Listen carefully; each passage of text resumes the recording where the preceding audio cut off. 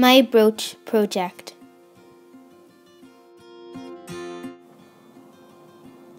In this technology project, we were asked to make a brooch.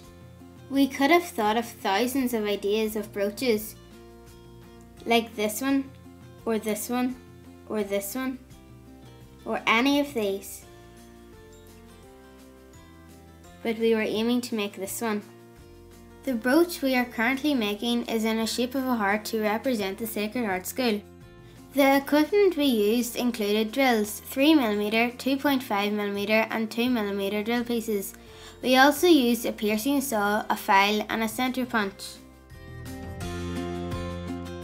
We had to ensure we followed the safety precautions throughout the manufacturing of the brooch. We had to wait sensibly behind the yellow line when others were using the machinery. We also had to wear safety goggles when using the machinery. One of the most challenging parts of this project was correctly drilling the four holes. To make this task easier, a centre punch was used to add an indent to the metal so that the drill bit could slot into the correct place and drill the holes correctly. Using the centre punch was definitely an advantage. It was obvious that it takes a lot of time, effort, care and technique to make these brooches and if a mistake is made, there is no going back, which meant extreme care must be taken with our work.